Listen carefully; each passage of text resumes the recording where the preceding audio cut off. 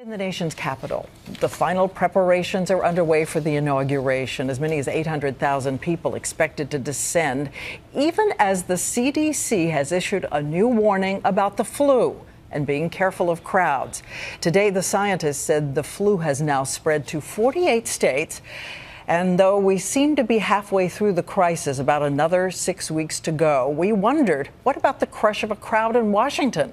how many of those people could come home from the inauguration sick.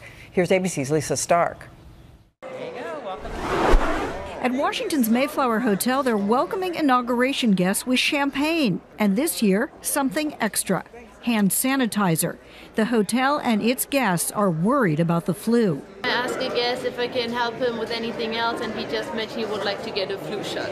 Some 600,000 people are expected to jam the nation's capital, flying in on planes, packing hotels, rubbing elbows at the balls.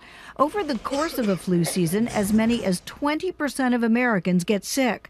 Do the math. That could mean thousands of potentially infected visitors. A person with the flu can spread the virus to those around them. If I'm by myself, no worries. But on Monday, this spot near the U.S. Capitol will look like it did four years ago.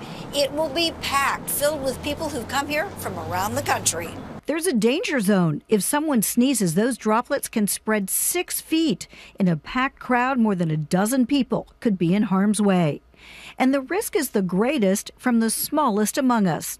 A child's sneeze can spread millions of virus particles, 10 times more than an adult, because adults have a more developed immune system. So doctors say take common sense precautions, get the flu shot, wash your hands, and just as important, if somebody has the flu, they're probably best off staying at home because they might be sick and they may not feel well, and probably the best seat in the house would be on their couch in that case. You'll feel better, and so will everyone else. Lisa Stark, ABC News, Washington.